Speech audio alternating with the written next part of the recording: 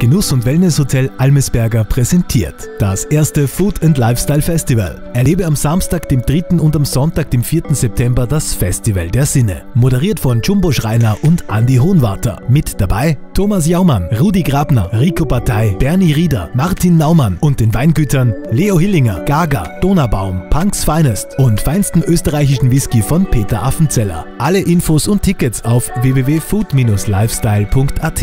Enjoy your life.